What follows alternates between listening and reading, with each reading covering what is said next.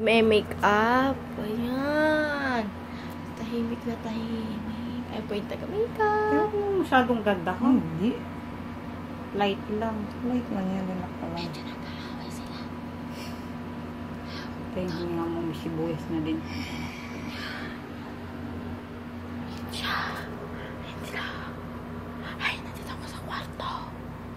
Kita niyo ba yan?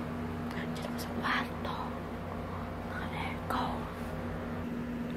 guys. Ayan. Ayan siya. Ayan. Oh. Nakikita niyo ba yan?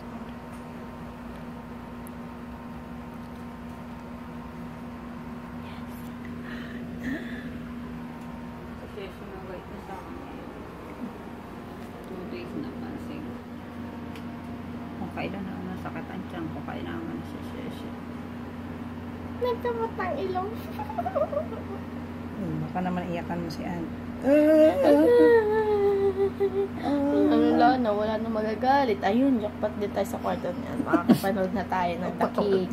Apakawalang yan itong pamangkin mo, Tami. Ang sakit! Apakawalang yan mo. Ay, sakit! Tuturo, tuturo, tuturo. Mali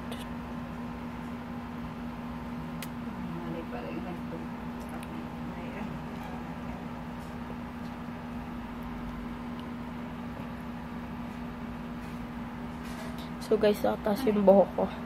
Parang aeroplano. Kahit rebant ako. Wala! Ah, mm, ano? Should it be with you?